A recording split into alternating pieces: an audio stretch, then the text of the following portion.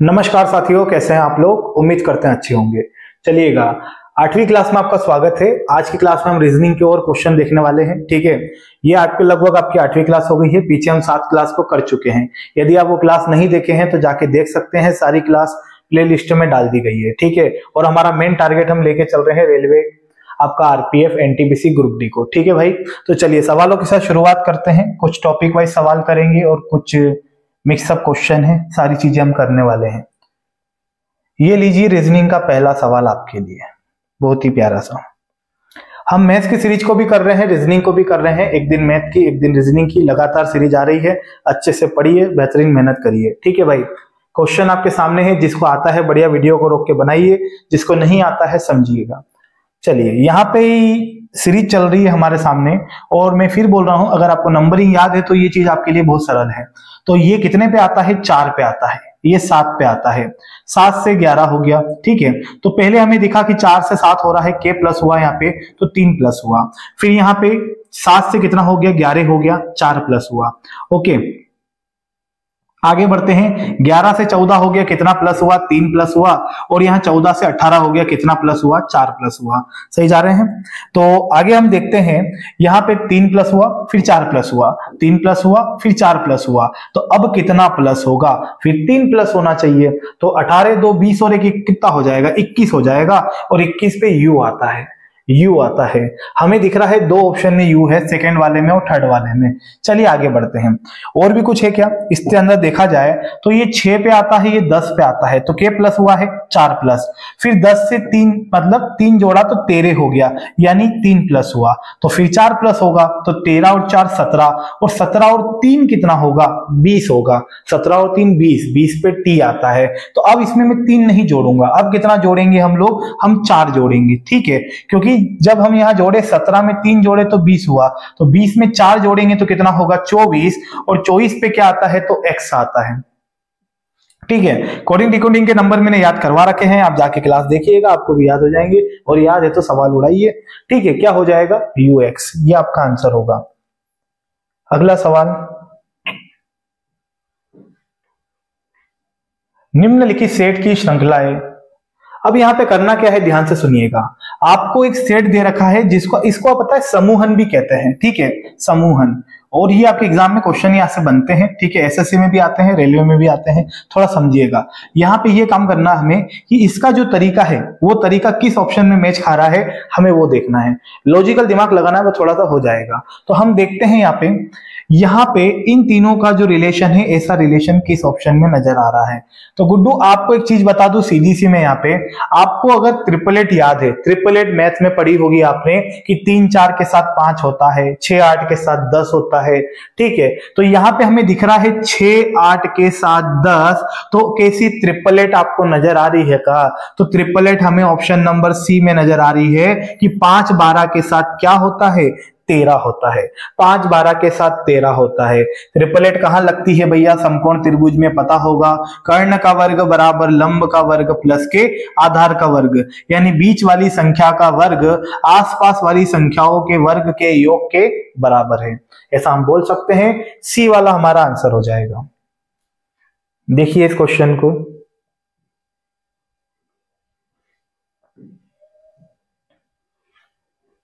यहाँ कोई triple eight नहीं है मेरे भाई। यहाँ पे तरीके बहुत सारे लगते हैं। मैं आपको सभी टाइप के सवाल करवा रहा हूँ। यहाँ पे जैसे कि मान लीजिए कभी सभी की सभी एक ही संख्याओं के मल्टीपल होती है। अब यहाँ हम देखें। तो गुड्डू, आपको दिख रहा होगा कि नौ चौक छत्तीस होता है। आसपास वाली संख्या का मैं गुणनफल देखूँ तो नौ चौक कितना होता है? छत्तीस।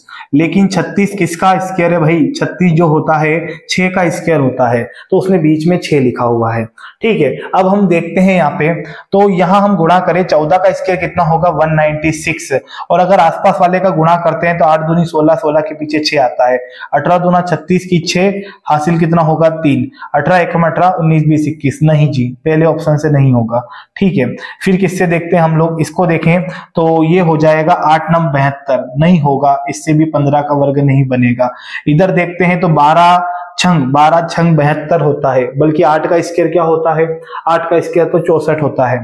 ठीक है तो हम क्या कर सकते हैं? इसको देखिएगा। बारह का स्केयर होता है एक सौ चौवालीस। और अगर हम 26 क्या लिखा है ये? 24 अगर 24 में हम 6 का गुणा कर दें तो 6 चार 24 की चार हासिल दो, छह दूनी बारह और दो कितना हो जाएगा? चौदह। यानी एक सौ चौवालीस आ रहा है, और एक किसका वर्ग है? तो बारह का वर्ग है। तो ये तरीका इसमें सही सार तरीके से लग जाएगा। ठीक है मतलब कि आस पड़ोस की संख्या का गुणा किया है और उसका वर्गमूल किया है तो वो आ जाएगा। या फिर आप देख सकते हो किस संख्या का वर्ग है। तो यहाँ पे ये जो एक सौ चौवालीस है, किसका वर्ग है? बारह का वर्ग है।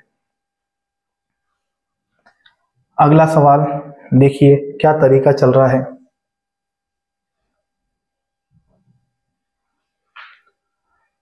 यहाँ पे अंतर भी चल सकता है, अंतर भी समानता रखेगा। जैसे मान लीजिए यहाँ छह का अंतर है, सात का अंतर है तो जो आंसर होगा उसमें भी छह सात की सीरीज़ चलेगी।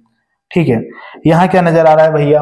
आप देख सकते हैं कि ये एक अभाज्य संख्या है, ये एक अभाज्य संख्या है, ये भी एक अभाज्य संख्या है।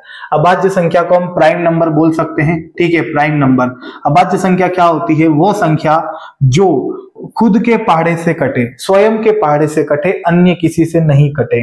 जैसे कि बात सुनिएगा सतरे। सतरे अभाज्य है, केवल सतरे से ही कटता है, और एक से कट जाएगा, और किसी से नहीं कटेगा। ठीक है, और जो तीन या तीन से अधिक पहाड़े से कट जाए, वो होती है भाज्य संख्या। जिसे आप मान लीजिए पंद्रह।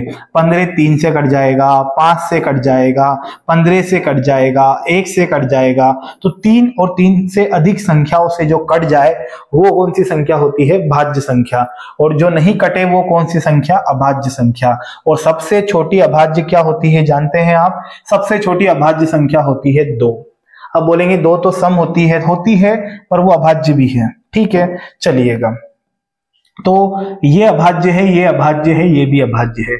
21 अभाज्य नहीं है तो गलत हो जाएगा। उन पचास सात से कटता है, आप भी जानते हैं। पंद्रह जो है, गुड्डू किससे कटता है? तो पंद्रह आपका तीन से कटता है तो ये वाला ऑप्शन बिल्कुल सही हो जाएगा। आप देख सकते हैं, जो भी इसमें संख्या दी है, इकतालीस, सैतालीस, तिरपन, ये सभी के सभी कौन सी संख्या है, गुड्डू? अभाज्य संख्या है। ऑप्शन नंबर डी हमारा आंसर हो जाएगा। चलिए भैया, करिए इसको, इसमें क्या आंसर होगा? वीडियो रोक के बनाना है अपने को भी, ठीक है? ताकि बेहतरीन प्रैक्टिस हो। अच्छा देखिए यहाँ पे, हमें दिख रहा है दो सती चौदह, दो सती चौदह, और ये दिखा है दो अठी सोलह, दो अठी सोलह। मतलब एक बार इसका सातवां मल्टीपल है और एक बार आठवां मल्टीपल है, ठीक है? तो हम यहाँ देखते हैं दो सती दो के पारे में सात आता ही नहीं, सती तो गया भैया। चार चौक सोलह, यहाँ देखिएगा, तीनों सतो इक्कीस और तीनों आठों चौबीस। तो यहाँ फॉलो हो रहा है तो ऑप्शन नंबर बी हमारा आंसर हो जाएगा। समझ गए? क्या फॉलो हो रहा है? पहले सात का गुणा, फिर आठ का गुणा, पहली संख्या में। तो इसमें सात का गुणा करेंगे, तीनों सतो इक्कीस, इसमें आठ का गुणा करेंगे, तीनों आठों चौबीस हो जाएगा। हाँ जी। एक और बात, आप ये भी देख सकते हैं कि सर जो संख्या है, जो सवाल है, जैसे ये सवाल, ये पूरा दो का मल्टीपल है मतलब ये पूरा दो से विभाजित होता है। तो ये जो पूरा आपको दिख रहा है, ये पूरा तीन का मल्टीपल है, तीन से विभाजित होता है। ये पूरा आपको दिख रहा है, दो से विभाजित होता है है ना? लेकिन यहाँ पे खास बात क्या है कि इसके जो आगे नंबर है, दो, ये दो इन दोनों को काट सकता है। ये इन तीनों को काट सकता है, क्योंकि उसी के तो मल्टीपल है तो कटेगा ही कटेगा वो तो। ठीक है? यहाँ देखिए, चार चार से सोलह तो कटेगा, पर अट्ठारह नहीं कटेगा। इस प्रकार से। चलो भाइयों क्या आंसर है इसमें? यहाँ पे देखिए, छह का स्क्वायर छत्तीस होता है, आप जानते हैं। छह का स्क्वायर छत्तीस होता है। और उसने छत्तीस को पलट के लिख दिया, कितना लिख दिया? तिरसठ।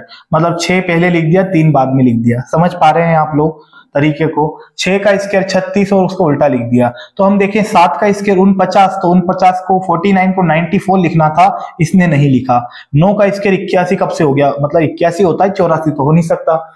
इधर देखते हैं तो आठ का स्केयर क्या है? चौसठ, बिल्कुल सही है। और चौसठ को सिक्सटी फोर को क्या लिख दिया जाए? फोर्टी सिक्स तो सही हो जाएगा। यानी ऑप्शन नंबर बी हमारा आंसर होगा। सही है? ऑप्शन नंबर बी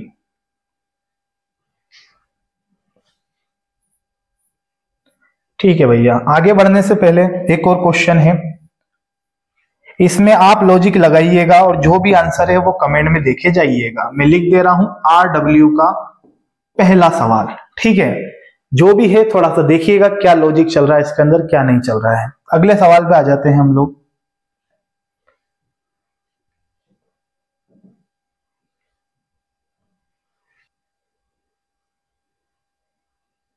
चलिए, करें मेरे भाई। क्वेश्चन में आपको नज़र आ रहा होगा, यहाँ पे इसका संबंध जैसे इससे है तो इसका संबंध किससे होगा? ये चीज़ है। तो आप देख सकते हैं, ये तीन पे आता है तो ये चार पे आता है। ये तेरह पे आता है तो ये चौदह पे आता है। ये तेईस पे आता है तो ये चौबीस पे आता है। सीधी बात, नो बकवास, के प्लस हो रहा है तो सर एक प्लस हो रहा है। एक प्लस हो रहा है। तो जैसा सलूक इसने इसके साथ किया है, वैसा यहाँ पे हो जाएगा। तो देखिए भैया, एक में एक जोड़ेंगे तो दो आएगा, यानी कि बी। है ना? ग्यारह और एक कितना होता है? बारह होता है यानी कि एल इक्कीस और एक कितना होगा? बाईस होता है यानी कि वी बी एल वी किस ऑप्शन में है? तो चौथे ऑप्शन में दिख रहा है, ये आंसर हो जाएगा। बी एल वी आगे बढ़ते हैं अगले सवाल पे। बनाइए भैया सीरीज़ देखिए क्या आंसर आ रहा उसका। दो, सात, चौदह, और क्या दिया है? तेवीस और हमें दिया है चौतीस, ठीक है?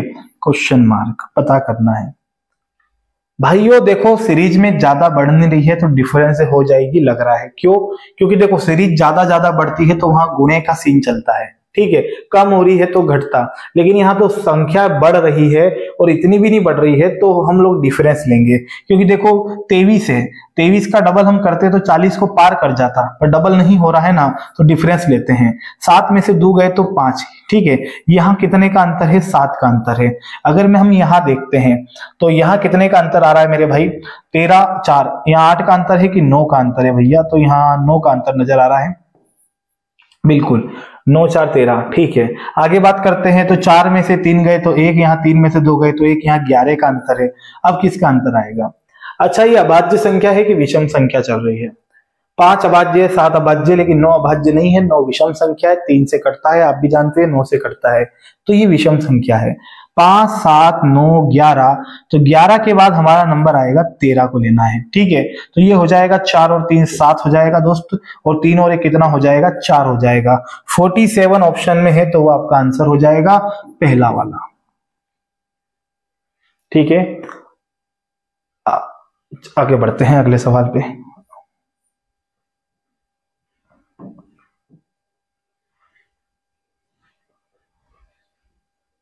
बनाइए, क्या तरीका है इसके अंदर? ये सभी रेलवे के प्रीवियस क्वेश्चन है जो एग्ज़ाम में पूछे गए हैं, ठीक है भाई? यहाँ पे बात करते हैं बारह गुणा सोलह। तो बारह गुणा सोलह कर दें क्या? बारह गुणा सोलह करने पे ये आ जाएगा, फिर क्या है? ऐसा नहीं होता। सोलह दुना बत्तीस कर सकते हैं, सोलह दुना बत्तीस की दो, हासिल कितना हो जाएगा? तीन। सोलह एकम सोलह सोलह और तीन हो जाएगा उन्नीस, वन नाइनटी टू।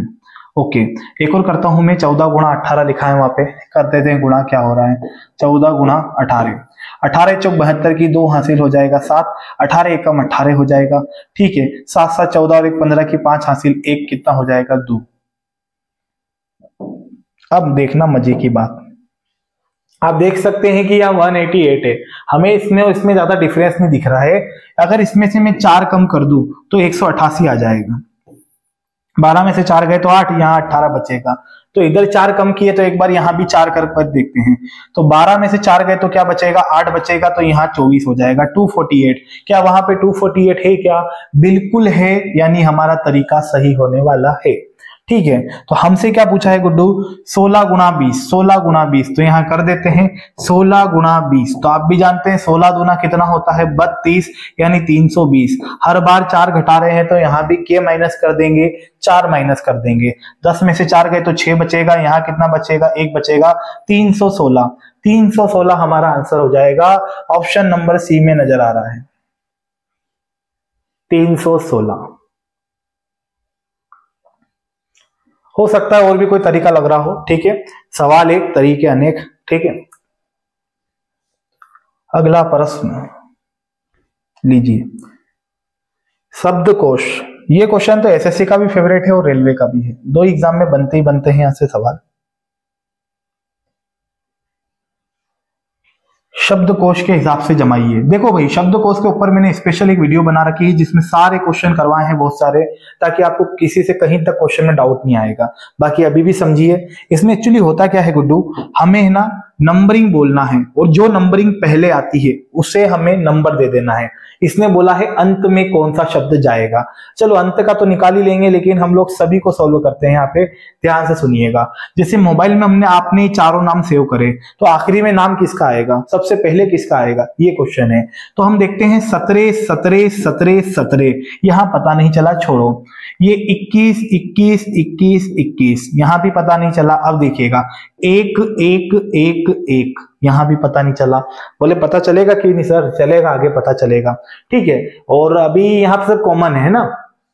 अब देखो 12, 18, 18, 22 अब आप बताइए सबसे छोटका नंबर कौन है? 12, 18, 18, 22 तो हमें दिख रहा है 12 सबसे छोटका है तो ये पहले आना चाहिए। ये पहले आना चाहिए। सहमत है आप लोग? अब देखिएगा, जिसका हो गया है मतलब जिसकी बुकिंग हो गई है, दोबारा उसके पास नहीं जाना है हमें। तो यहाँ पे जो बारह हम लिख दिए ना पहले वाला तो अब उसको कंपेयर नहीं करना, उसको देखना ही नहीं है।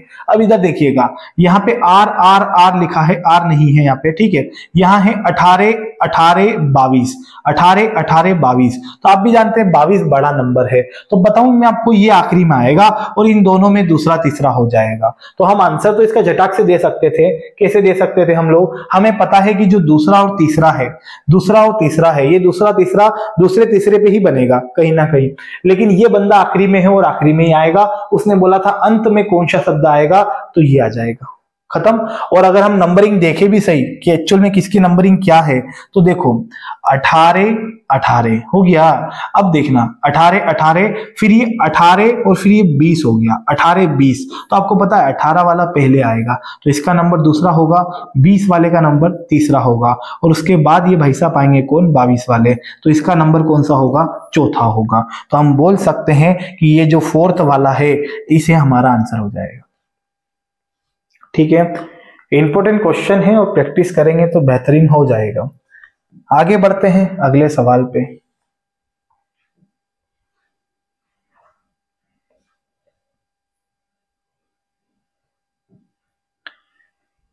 चलिएगा, यहाँ पे क्या बात हो रही है दोस्त? सात से नौ हुआ, दो प्लस दिख रहा है हमें, ठीक है? और पंद्रह से बारह हुआ, तीन माइनस हो गया। है ना? सही है? चौदह से सोलह हुआ, फिर दो प्लस हुआ। ठीक है? तो क्या पाँच से तीन घटाएँगे तो दो आएगा क्या? बिल्कुल। पाँच में से तीन घटाएँगे तो दो आ जाएगा। तरीका समझ में आ गया? यही तरीका हम किसमें लगा देते हैं? क्राइब में। तो चलिए दोस्तों, अगर मैं बात करूँ यहाँ पे सीधी सी समझिएगा कि तीन में से दो मतलब जोड़ना है पहले। तीन में दो जोड़ेंगे तो पाँच यानी ई आएगा। और 18 में से तीन घटाऊं तो 15 होगा ये ओ आएगा। ई ओ ई ओ एक ही ऑप्शन में ई ओ है ये आंसर हो जाएगा। बहुत ही प्यारे तरीके से। और गहराई में चलें तो आप देख सकते हैं नौ में दो जोड़ेंगे, नौ दो ग्यारह हो जाएगा और दो में से तीन घटाएँगे तो माइनस वन लेकिन गुड्डू, यहाँ कैसे घटाएँगे सुनो, ये बी है। बी में से तीन घटाते हैं। तो आपको पता है बी का नंबर जो है, इसमें से तीन घटाते हैं। तो बी आता है दो नंबर पे, लेकिन ये अट्ठाईस पे भी आता है। और अट्ठाईस में से तीन घटाएँगे तो क्या आएगा? पच्चीस। और पच्चीस में वाई आता है तो मैं यहाँ वाई लिख सकता हूँ। ठीक है? वर्णमाला आपको पता होगी ए से लेकर कहाँ तक होती है जेड तक होती है। यानी इसमें कितने अक्षर होते हैं? 26 होते हैं। तो 26 पे जब जेड आता है। तो 26 के बाद आएगा 27 पे ए ठीक है। और 28 पे कौन आ जाएगा? बी आ जाएगा। इसलिए मैंने 28 में से घटा दिया 25 आ गया। हमारा आंसर हो जाएगा ऑप्शन नंबर फोर्थ वाला। लीजिए दोस्त, नेक्स्ट प्रश्न।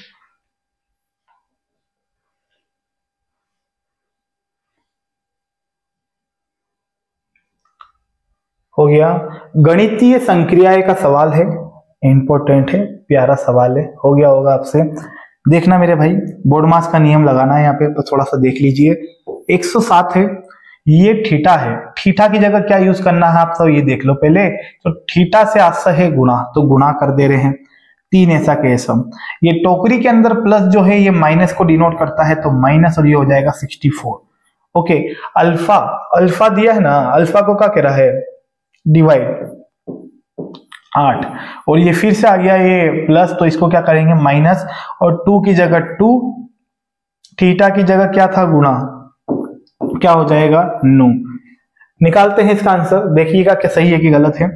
अब यहाँ पे देखें तो आपको पता है, पहले भाग होता है। फिर गुणा होता है, फिर जोड़ते हैं, फिर घटाते हैं। यही नियम होता है बोर्ड मास का। तो ये देखो, आठो अठी चालीस हो जाएगा। मतलब आठो, आठ से आठ बार कट जाएगा, आठ अठी चौसठ। ठीक है? अब यहाँ पे देखते हैं हम लोग गुणा कर दें पहले। तो ये हो जाएगा सात इक्कीस और ये हो जाएगा तीन एकम तीन। ओके? माइनस ये आठ ऐसा के ऐसा, और उधर में गुणा कर देता हूँ नौ दुनी अट्ठारह। पहले घटा नहीं सकते, पहले गुणा होगा। नौ दुनी अट्ठारह। 321 ऐसा के ऐसा। आप जानते हैं माइनस माइनस प्लस होता है, लेकिन चिन्ह किसका आएगा? माइनस का आएगा। ठीक है, आप देखते हैं यहाँ पे 18 और 8 कितना हो जाएगा भैया? ये हो जाएगा 8 और 8 16 26 हो जाएगा। ठीक है, घटा देते हैं तो 11 में से 6 गए तो गुड्डू पाँच हो जाएगा। और यहाँ 11 में से कितना बचेगा यहाँ पे? 31 31 में से दो जाएगा तो 29 आ जाएगा। 295 आपका आंसर होगा। किस ऑप्शन में है? तो पहले ऑप्शन में नज़र आ रहा है दो सौ जिसका भी दो सौ था, बिल्कुल सही जवाब। 295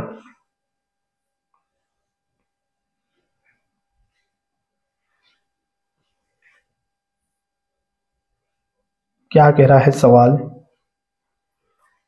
एक गाँव में कुछ सुनार साक्षर है साक्षर है। ठीक है तो कौन सा आरेख, कौन सा आरेख सुनारों को दर्शाता है? साक्षर सुनारों को। ठीक है भैया। इसमें कह रहा है, गाँव में कुछ सुनार जो है वो साक्षर है। अगर आपने मुझसे वेन डायग्राम पढ़ा है तो आपको पता होगा, मैंने कुछ यानी सम वाला कंडीशन आपको बता रखी है कि सम का केस ऐसे बनता है, ये वाला। ये वाला सम का केस होता है। यहाँ पे ये बताया जाता है कि कुछ ए बी है तो कुछ बी ए है। समथिंग समथिंग है ना? कुछ वाला केस है, कुछ ए बी है तो कुछ बी ए है। तो यहाँ पे जो बात हो रही है भाई यहाँ पे हम मान लेते हैं कि जी सुनार है तो एल जो है वो साक्षर हो गए। तो यहाँ पे उसने बोला है, कुछ सुनार साक्षर है तो फिर बी वाला हमारा सही होगा। कुछ सुनार साक्षर है, क्योंकि ये कंडीशन यहाँ हमें नज़र आ रही है। ठीक है? तो ये वाला सही हो जाएगा। तो बी कहाँ है? ये रहा। देख लो भैया, इसमें ऑप्शन उबड़ खाबड़ दिए हैं ना? आकृति बी है, लेकिन ऑप्शन पहला वाला लगाएँगे, क्योंकि पहला वाला लगाते हैं, इसका मतलब आपका आंसर बी है। नेक्स्ट प्रश्न।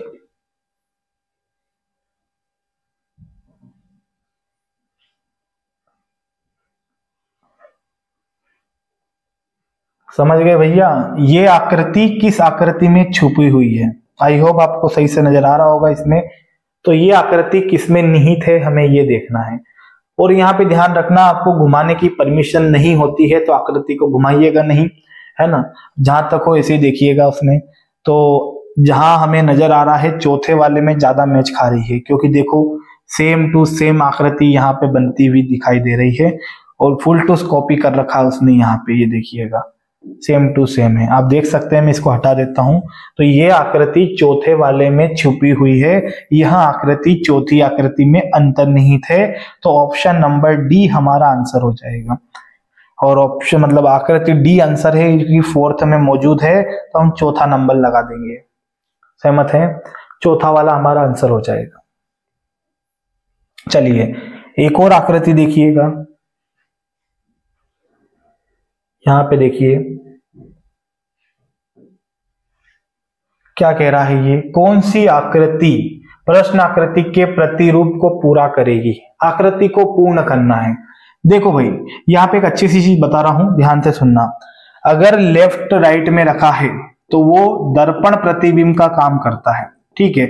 और अगर ऊपर नीचे हम देखते हैं तो वह जल प्रतिबिंब का काम करता है, यानी आप बोल सकते हैं वाटर इमेज का, और ये मिरर इमेज का काम करता है आउटसाइड रखते हैं तो। तो अब यहाँ पे अगर देखते हैं कि इस आकृति को हमें पता करना है तो ये जो आकृति होगी ना भाई मेरे, वो इस वाले की मिरर बनेगी, इस वाले की मिरर बनेगी। ठीक है? या फिर आप ऐसे देखो कि ऊपर वाली आकृति पता करना है तो नीचे वाले की कौन सी बनेगी भैया? जल प्रतिबिंब वाली आकृति बनेगी, जिसको हम वाटर इमेज कह सकते हैं। ठीक है? इसमें होता क्या है? हम दर्पण वाली देखते हैं यहाँ से, है ना? दर्पण वाली देखें तो इसमें पास का पास रहेगा और दूर का दूर। तो ये वाली आकृति यहाँ चली जाएगी, ये वाली आकृति यहाँ चली जाएगी। समझ आ रही बात को दिखाई दे रहा है भाई।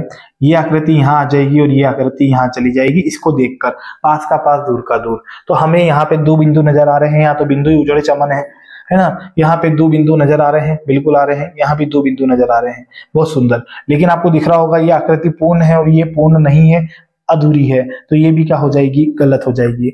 अब पहला वाला सही है कि चौथा सही है? कौन सा सही होगा? तो आपको दिख रहा होगा, ये गुल के गुल के सब पास में है तो यहाँ भी बड़ा गुल का आएगा और यहाँ छोटका गुल का है तो ये गलत हो जाएगा। फ़र्स्ट वाला हमारा आंसर होगा। फ़र्स्ट वाला हमारा आंसर होगा। फ़र्स्ट वाले के लिए दिख रहा है ऑप्शन कौन सा लगाना है अपन को? चौथा ऑप्शन लगाना है, क्योंकि चौथे ऑप्शन में आकृति ए को बताया गया है। तो चौथा वाला हमारा सही हो जाएगा। ठीक है भैया? और ये दो क्वेश्चन आपके लिए है।